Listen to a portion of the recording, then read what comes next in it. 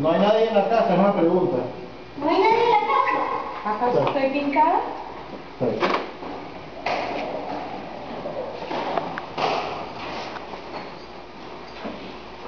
Venga.